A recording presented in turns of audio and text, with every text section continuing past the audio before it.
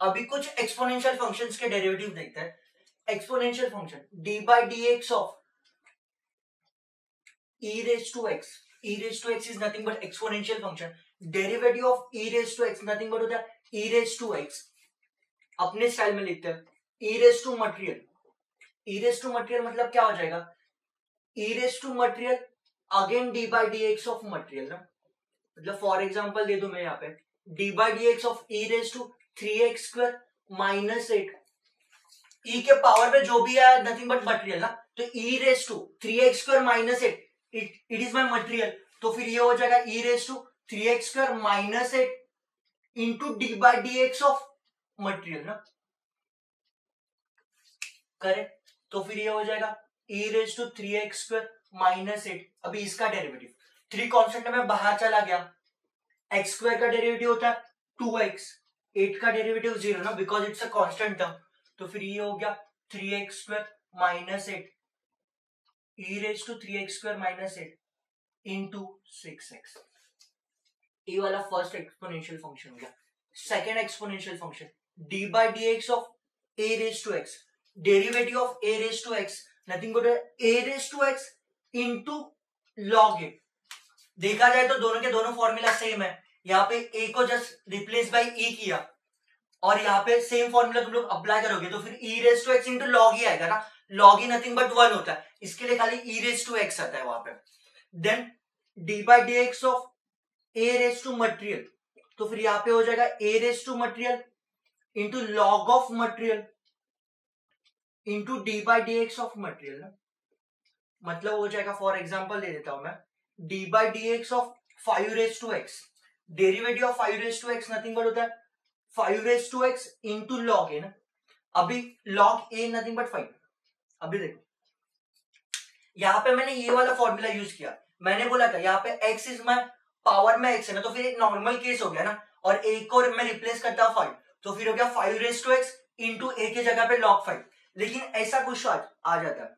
Derivative five raise to three x तो अभी देखो पावर में थ्री एक्स आया ना ऑर्डर देन एक्स कुछ भी आया तो फिर ये मेरा मटेरियल हो जाएगा ना। तो फिर ये हो गया five raise to three x into log five again d by d x of three x ना। दैट मीन्स हो गया five raise to three x into log five और थ्री कॉन्स्टेंट में बाहर चला गया एक्स का डेरिवेटिव है। तो फिर गया three into five raise to three x into log five ये हो गया हम लोग के एक्सपोनेंशियल फॉर्मूलाज देन कुछ derivative of logarithmic function d by d x of log x derivative of log x होता है वन अपॉन एक्स तुम लोग इसको सेम वे में लिख सकते हो log of material nothing but होता है one upon material into d by d x of material मतलब फॉर एग्ज़ाम्पल दे दो।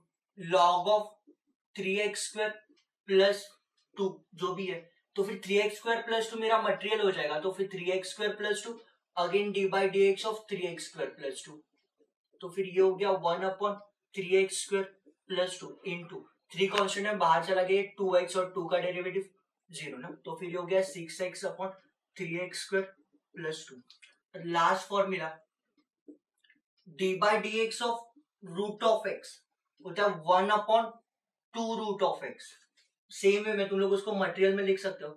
D by d x of root of material तो फिर ये हो जाएगा one upon two root of material into d by d x of material ना। तो एक मास्टर इसके ऊपर एग्जांपल में मैं एक मास्टर प्रॉब्लम दे देता हूँ।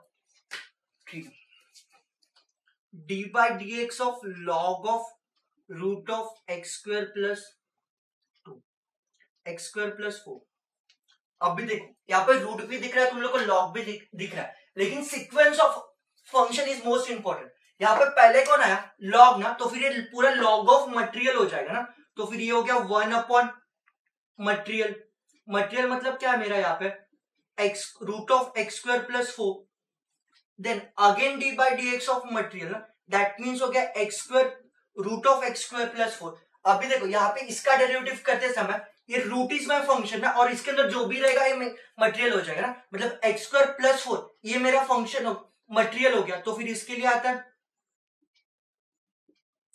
रूट का डेरिवेटिव होता है one upon two root of material again d by d x of material that means हो गया x square plus four then इसको मैं सिंप्लीफाई कर रूट इंटू रूट रूट चला जाएगा। एक्स स्क्वायर प्लस फोर लिख दिया मैंने यहाँ पे। एक्स स्क्वायर का डेरिवेटिव टू एक्स और फोर का zero which is nothing but two x upon ये टू टू भी कैंसिल हो जाएगा। नथिंग बट बचा x square upon x square plus four ये तुम लोग का फाइनल आंसर हो गया।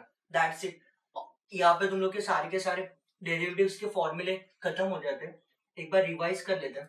Derivative of e raise to x nothing but होता है e raise to x derivative of a raise to x होता है a raise to x into log a derivative of log x होता है one upon x and derivative of root of x होता है one upon two root of x that's it from derivative इतने फॉर्मूले तुम लोग को सेम थ्री के लिए मोर देन सफिशियंट है